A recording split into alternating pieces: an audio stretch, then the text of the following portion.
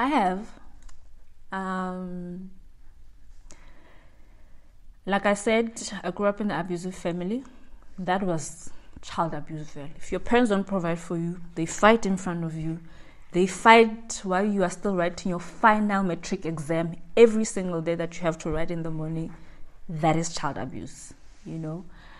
Um, and when I was young as well, I was I'm also a rape uh, victim.